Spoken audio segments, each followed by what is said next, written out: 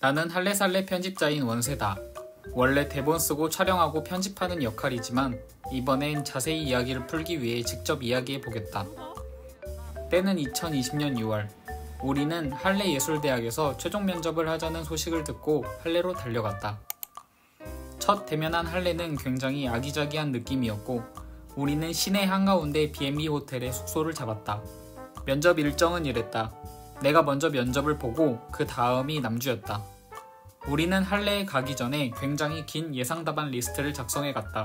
대충 쭉 적기만 해도 이렇다. 이 모든 답변을 달달 외운 우리는 학교로 갔다.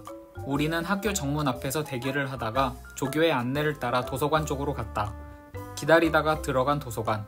안쪽에는 4명의 교수님이 앉아 계셨던 기억이 난다. 그리고 오른쪽에는 각종 디자인 영역이 적힌 탑이 세워져 있었다. 간단하게 분위기를 풀기 위해 질문을 몇 개 받았는데 베를린에서 온 거냐, 독일에 온 지 얼마나 됐냐 이런 질문이었다.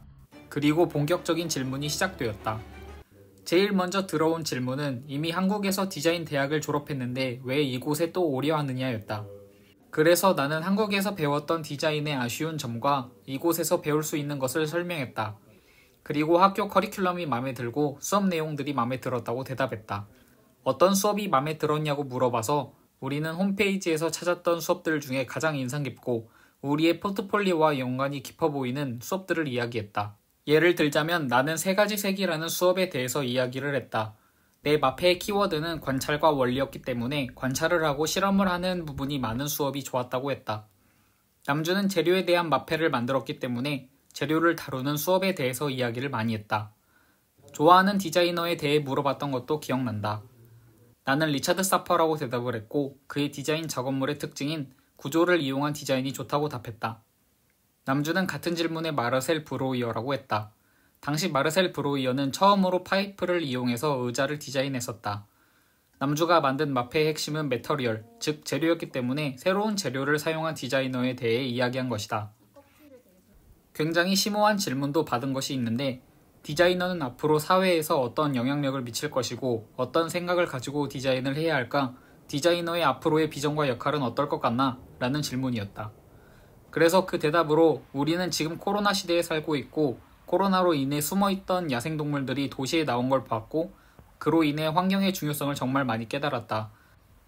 그렇기 때문에 포스트 코로나 시대가 온다면 인간만을 위한 디자인이 아닌 환경을 생각한 디자인을 해야 한다는 답을 했다. 중간중간 가벼운 질문도 있었다. 취미가 무엇이냐고 가볍게 물어봤고 남주는 요리가 취미이고 독일에서 바질 같은 허브를 직접 키우고 그것으로 요리를 할 수 있어서 정말 좋았다고 말했다. 나에게는 그런 질문은 딱히 안 했던 것 같다. 그리고 학교에 들어와서 무엇을 할 건지 졸업하고 나서는 어떻게 미래 계획을 세웠는지 그런 걸 물어봤다. 나는 학교에 들어와서 친환경적인 디자인에 집중을 많이 하고 싶다고 했다. 이유도 물어봤는데 앞으로 지구의 자원이 점차 고갈될 것이고 우리는 자원을 계속 재활용해야 하는데 친환경적인 디자인이 그 과정에 있어서 굉장히 중요한 역할을 하게 될 것이라고 이야기했다. 그리고 학교를 졸업하고 나서 일단 회사에 취직을 하고 디자이너로 일하다가 어느 정도 경력이 쌓이면 독립을 해서 개인 디자인 스튜디오를 열고 싶다고 대답했다. 그리고 수수께끼 같던 탑의 정체가 밝혀졌다. 교수님들은 탑에 적힌 디자인 영역들을 읽어보고 어떤 디자인 영역이 마음에 드는지 그리고 그 이유는 무엇인지 이야기해 보라고 했다. 대충 기억하기로는 4개 정도의 디자인 영역이 써 있었는데 2개는 의미를 아는 것이었고 2개는 전혀 모르는 영역이었다. 그래서 내가 제대로 의미를 알고 있는 제품 디자인과 인터페이스 디자인에 대해서 이야기를 했다. 제품 디자인을 선택한 이유는 제품이 사람들의 삶을 크게 변화시킬 수 있기 때문이라고 말했고 인터페이스 디자인 또한 작은 변화로 사람들에게 더 큰 편리함을 가져다 줄 수 있기 때문이다. 그런 식으로 되는 대로 마구 이야기했던 것 같다. 마지막으로 나오기 전에 할 말이 있냐고 물어봐서 나의 마페에 대해 더 조언해 줄 것이 있냐고 물어봤더니 그런 건 없다. 너의 마페가 마음에 들었기 때문에 네가 이렇게 면접에 와 있는 것이라고 웃으면서 교수님이 이야기를 했던 기억이 난다.